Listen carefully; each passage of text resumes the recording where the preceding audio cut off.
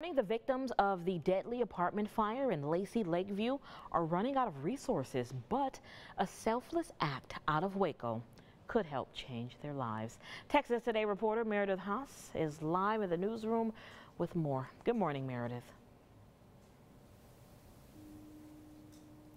Yeah, good morning. So that family out of Waco lost their home to a fire the same morning as the Lacy Lakeview fire.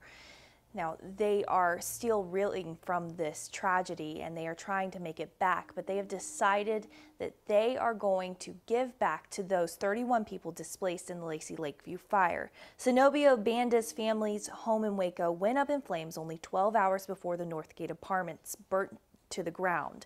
They lost everything except their family because of this electrical fire that took their home away. Today, they still live in a hotel, but donations from the community are helping them get along. So they've decided to share those donations with the 31 people displaced in the Lacy Lakeview fire. We all took a big loss and, you know, their pain ain't, ain't smaller than mine. So, I mean, we can at least have a little bit of, of what we need. The way everybody has shown love shows us a true blessing and, and and a blessing's coming. You know, uh, we'll get back on our feet. We'll we'll be able to get into a home that we can actually call our home again.